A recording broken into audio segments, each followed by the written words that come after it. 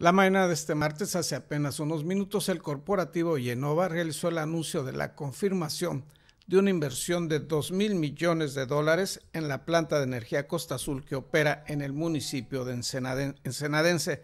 Dicha inversión es para la ampliación o reconversión de dicha planta a fin de que pueda realizar la licuefacción de gas natural proveniente de los Estados Unidos y poderlo exportar desde Ensenada a diferentes lugares de México y el mundo aunque en el boletín oficial de Yenova no se hace mención específica al respecto,